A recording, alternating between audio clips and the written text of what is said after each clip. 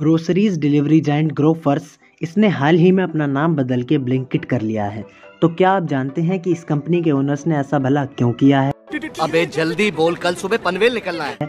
तो ऐसा करने के पीछे का कारण था 10 मिनट में डिलीवरी करना। जी हाँ 10 मिनट में डिलीवरी करना। तो इसलिए उन्होंने बड़े बड़े डार्क स्टोर्स खोले ताकि वे वहाँ बहुत सारा सामान एक बार में स्टोर कर सकें।